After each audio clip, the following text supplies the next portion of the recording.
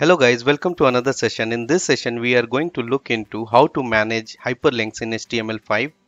So in this aspect, let's look into the topics. What are the topics we are going to cover in this session?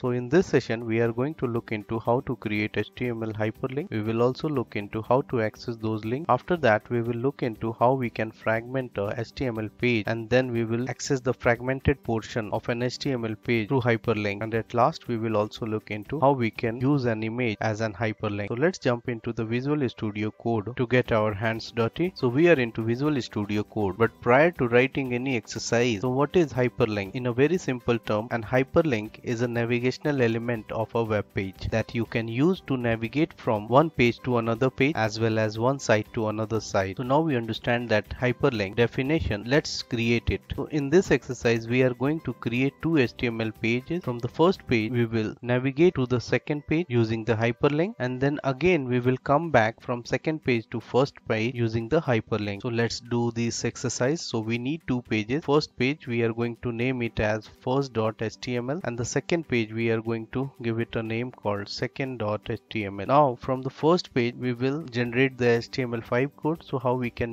do that? We will use the snippet. We use this snippet for 5 and it will generate a html document. It. You can tell that first page. Same for the second. Here you can also use the snippet. Into we can tell it and give it a name. We are going to give it a name called second page. It's a title. Now we will go to the first page. To create a hyperlink what you need to do you need to use an anchor tag. So here we have an anchor tag and here we need to specify the href the location. So we are going to specify the location and that is going to be our second.html and we need to specify over here the title. So we will give it a name that second.html page. And here we need to specify what text you want to display. I want to display visit second page. This is done. We will use the same example for the second. And here we will specify that and we will tell that. Visit first.html and here you can write return to first page. Once you do this save it. Now save this one as well. Now let's run it. Right click it copy path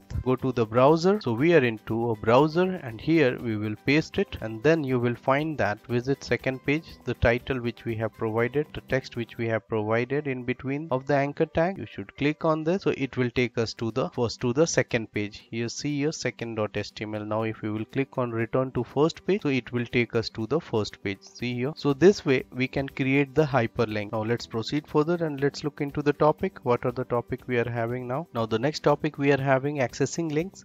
So hyperlink can be accessed through three ways the first way we have seen that is using the pointer. So this is my mouse pointer. If you click over here and you it will take you to the other page. The other way is the tab. If i will click on tab and here it got selected and we need to click on enter button then it will take us to that place. But we have third way as well where we need to specify the access key. And if we will press alt plus that access key so it will take us to the respective page. So let's assign an access key to the hyperlink so let's jump into the Visual Studio Code. So here you need to specify access key and we will specify one and for the same we can go to the second.html and there also we will specify access key and here you can specify two. Now let's jump into the browser. Let's refresh it over here. Now we have refreshed it. Now I'm not using the pointer. I'm clicking on alt key and the number one. So see here it is taking us to the second.html. I haven't used the mouse. Now again here I have assigned access key 2. We can click alt key and 2. So it will take us to the first page. So this is the third way by which you can access the web page using access key. Now let's proceed further and see the topic. So now we will understand that how we can refer or say link within the same HTML page. So let's go into the Visual Studio Code and understand it. So to understand hyperlinking to the page fragment, let's create a new file, call it page fragment.html and here we will generate an HTML document. So we will use the snippet and here we can delete it as it is not needed. Here we can specify page fragment hyper demo so let me write the html and then i will explain you. You can use the same file to execute it or else you can write by your own. So here i have written the code and if you will look into the browser and you will get the following output. If you will look into the browser then you will get this output. Copy the path first and then go to the browser. Then here you are not getting much difference. If you will click also then you will not get much difference. Why it is so? Because we haven't applied a style sheet over here. Style sheet or css is our next course in this web development series. So here I will use very minimal style sheet so that I can demonstrate this example properly to make you understand how we can do hyperlinking of HTML fragmented page. So let's create an a CSS file to showcase the example in a more meaningful manner. So here let's create a file CSS file. To create it we need to write the name dot and extension should be CSS. Now we will link this CSS file first so that we will use it. To do that if you have remember in the head section section I have explained you we can use the link tag. So here I have written link rel style sheets fragment.css just save it. Now go to the fragment.css file and let me write it and then I will come back if you are not understanding any of the code which is coming in this file then don't worry. That is our second course discussion. So I have written over here. So we have a yellow block of paragraph which we are referring over here. You can see that this is a paragraph tag and we are calling it as there is a class called yellow block. So that's what we are referring that. Whenever any paragraph any paragraph tag is having a yellow block class then this formatting should be applied. And if any paragraph contains the class red block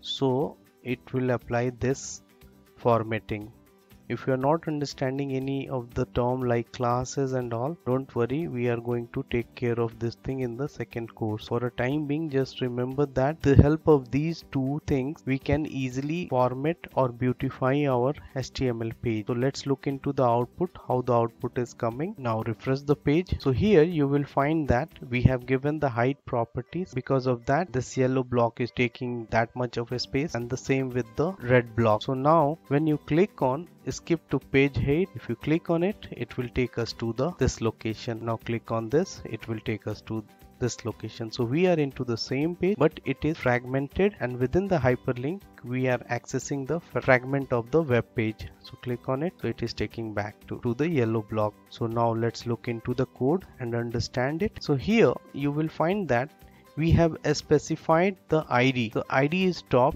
There is an anchor tag and each anchor tag is having an ID and that we are referring while accessing the fragmented location. For example, this anchor tag ID is top. So we are telling that whenever this hyperlink is being clicked, it should go to this ID. So it is taking us to this location. Same is the case with this one whenever if anybody is clicking on skip to page foot then it will taking us to this id this anchor ID. So with the help of this fragmentation technique, you can easily navigate from one location of page to another location of the page. So let's proceed further. So now we will look into an example where we can insert an image and that image we can use as an hyperlink. So for this, we will use the same example we have used earlier that is first and second .html page we will use. So to keep the image, what we will do, we will create a folder.